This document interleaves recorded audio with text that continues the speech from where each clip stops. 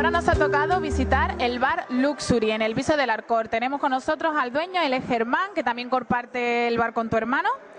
Bueno, explícame, ¿cuánto tiempo lleváis con la Diana? Pues la Diana la montamos, llevamos abierto desde abril y la montamos aproximadamente un mes después de abril. Abril, mayo aproximadamente montamos la Diana. Y la verdad es que va muy bien.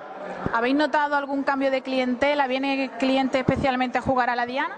Bueno, vienen clientes a jugar a la Diana, pero como aquí en el viso hay dos o tres Dianas también montadas, pues entonces van a muchos sitios. Pero también tenemos la clientela fija de aquí de, este bar. Los tres equipos están jugando el campeonato de Benalmádena y aparte tenemos dos equipos, uno que tiene mi hermano y otro que tengo yo, en la Premia Andalucía y otro en el Campeonato Nacional por equipo.